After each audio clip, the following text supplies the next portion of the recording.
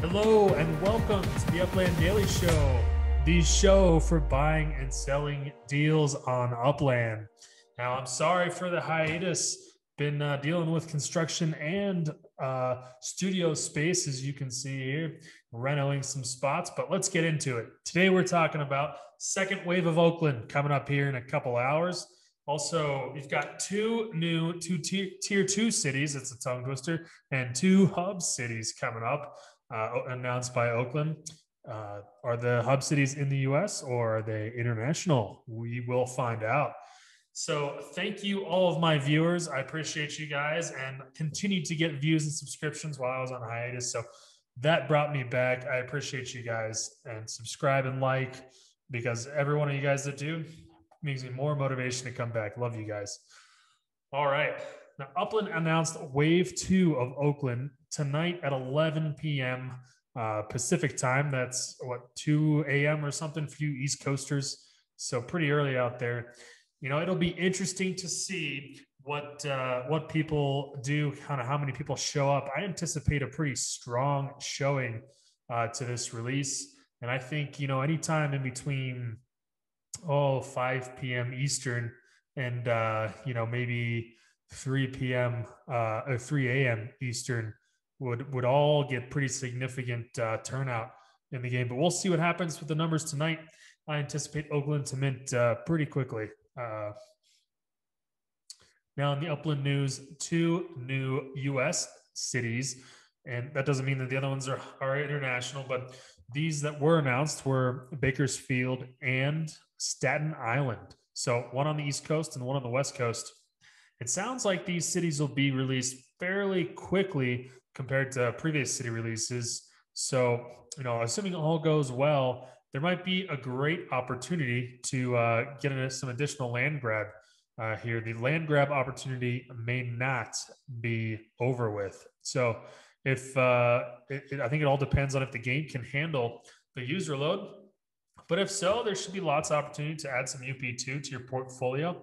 Uh, they are uh, they are giving away uh, the next uh, terminals, the bus terminals and the uh, train terminals. So it'll be a bus terminal from Brooklyn to Staten Island, and uh, I'm a terrible East Coaster because I don't know if there's a bridge, if that even makes any sense, but that is what there will be, and there will be four terminals into Bakersfield. So those will be given away uh, based on a a uh, competition here, a total of eight properties. And if you go out on the uh, Discord, you can see what you need to enter this. So it's pretty extensive. It looks like you need to fill out a Google form, which I uh, have not done yet, but it did open uh, this morning. You have to leave a post shilling one of your properties on Power Uplander channel, and you have to sell any property that you own you uh, have to win a standard treasure hunt and you have to send to visitor properties. I'm not entirely sure what send to visitor properties mean, but uh, I'll look into that a little more. Maybe put it in the comments, uh, pin it there for you. It is important though. This time they changed how you uh, how you accept the award. Uh, you only have 24 hours to mint the properties after you win. So tomorrow, when they announce that uh, the winners the winners only have 24 hours until the award is given to somebody else. So make sure you log in and check tomorrow that uh, if you have uh, completed all those activities to check to see if you've won. So staten island will be released this week actually is what the announcement says um, followed at some point by bakersfield. Uh, staten island will be accessible while bus like i said. And uh, if these you know since these are rolled out soon i think tons of land grab opportunity. If the servers and blockchain are able to handle it, we will see to be determined uh, there. But I think they're big enough, and that uh, you know the rush and FOMO won't be so big that everyone will try to mint them right away. I think people will understand, you know, players will understand that they can come back and still grab some pretty valuable properties uh, uh, later. And maybe that's maybe that's you know a new way for Upland to do it is is tier instead of tiering or releasing in waves all at once, maybe tier them throughout the day so that uh, you know people in different time zones have opportunities to buy them and then you don't get the rush all at once because people realize like, oh well, you know, I'm not awake really, or like I've got to go to work for the 8 a.m. release, but uh, you know, maybe for the 2 p.m. release, I'll take a break from work and I'll try to like catch a few properties then. And I think that'd be a good way to distribute the load maybe on the servers. Just an idea. Uh, you heard it here first. uh, let's see. So Staten Island's neighborhood lines have been released. Let's take a look at that real quick. I don't know if they're supposed to be released, but this is what you see. You know, I don't know a ton about Staten Island. Oh, there's the bridge. There it is. Uh, it's probably a famous bridge too. And uh, nope, not that one, one that I've heard of. Veranzo, Verrazano Narrows Bridge. Probably butchering that.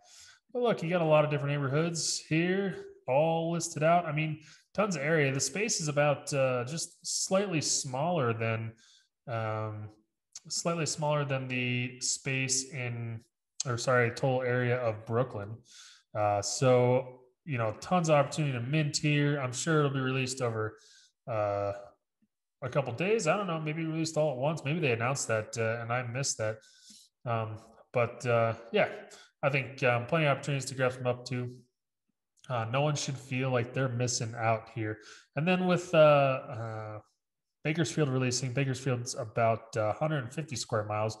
Um, Staten Island's about 58, I think, square miles.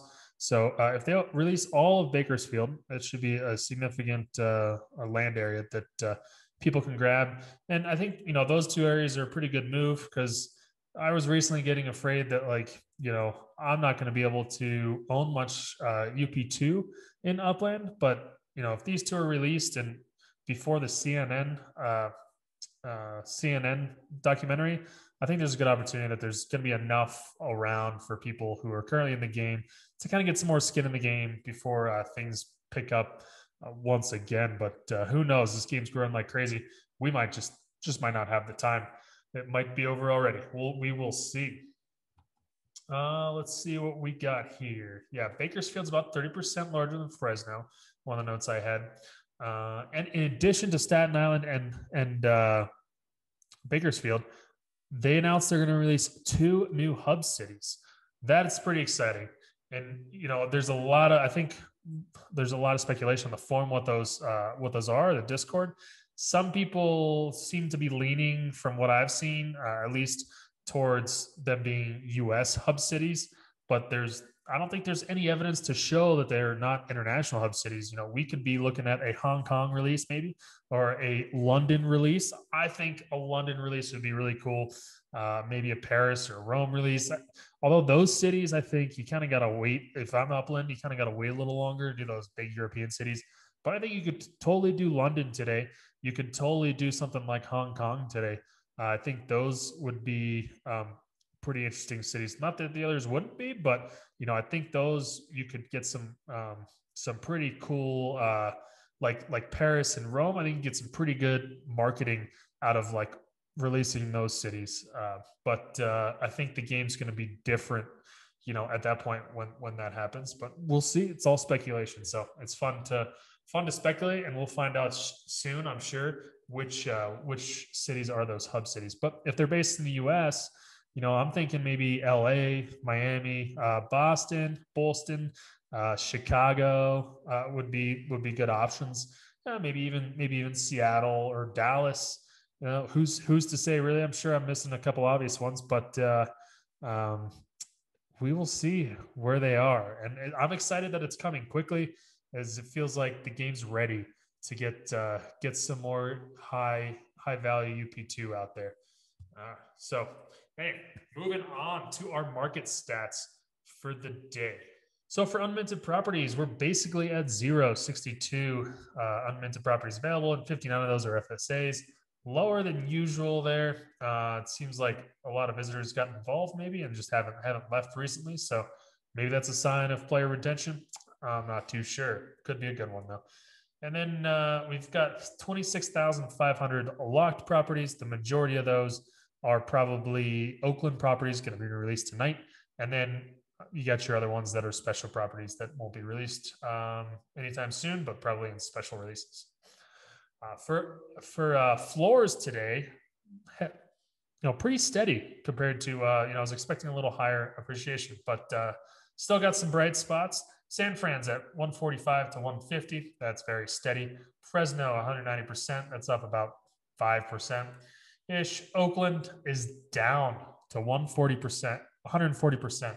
That's down 40% since I last reported, and that was uh, before the last, before the the release of the complete first wave. So, um, you know, now we're at the second wave. You've had some time for people to get in. I, I feel like there's a little less FOMO going on. Kind of like I thought, right? Like Oakland was overpriced because it is a tier two city. I wouldn't expect Oakland uh, unless there was some other you know weird thing going on like you got in Fresno with low mid properties. Wouldn't expect uh, wouldn't expect Oakland to be over San Francisco on the floors. Uh, going forward, we've got Manhattan at 175%. That's up 15% from when I last reported, which is a couple days ago. And uh, I think Manhattan's appreciating nicely. I think Manhattan is going to surprise a lot of people, especially the diehard uh, West Coasters you know, Manhattan, I think, uh, is already starting to show a little bit of favor over San Francisco, and I would expect that to continue. As much as I love San Fran, I just think Manhattan and uh, New York City is very recognizable internationally and uh, would continue to see that appreciation, I believe. Uh, Brooklyn up to 155, that's uh, up 5%. And our largest transactions now, we're, we're doing our whale watching again. We've got uh, our largest secondary UPX transaction was five million for a Tribeca property in Manhattan. I really like that purchase. If I had an extra five grand laying around, you bet I would buy in Tribeca right now. Uh, that was um, we got about two a day, two uh, transactions, UPX transactions over one million per day is what we've been averaging uh, around the last week, and that's uh, I think that's pretty healthy for the uh, UPX economy or the upland economy. The largest secondary fiat transaction was $2,350. That was in East Harlem space. A lot of UP2 on that one, 735. So big space. And, uh, you know, overall, uh, we, we saw two, only two uh, s- sales over uh, 1,000 um, UPX. So, you know, I don't know if that uh, it'll be interesting to watch that. I don't know if that has something to do with uh, the fact that Oakland released and there was a bunch uh, more properties for people to spend their money on. But, uh, you know, will be interesting to see if, uh, as we're releasing, if these um, high, uh, high fiat transactions continue or if they kind of, kind of drop off. But, you know, fiat uh, transactions were healthy. I don't have the total number, but, you know, they are happening, maybe just not the high, super high dollar ones. Or you just might have a, a, a smaller number of high dollar ones occur um, for you know just uh, very historic properties or well positioned properties you know in terminals and uh, stuff like that. We did see one of the ten thousand uh, transactions usd transactions was a train terminal in oakland. So maybe um, maybe those things will happen. Um, you know the city's opened up and they get minted and sold secondhand uh, for some of the higher higher uh, demand ones right? The higher um, higher desirability uh, so anyway, that is all for today, guys. Thank you for joining in. But come back tomorrow. We are going to look at where you want to buy here in Staten Island.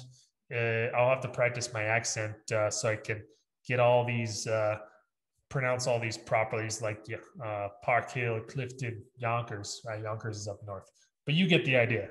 Thanks for joining in, guys, and have a great Oakland Wave 2. Take care. Upland Real Estate Digest is an entertainment service. All views are for entertainment purposes only and not to be construed as financial advice. Upland Real Estate Digest is not affiliated with Upland.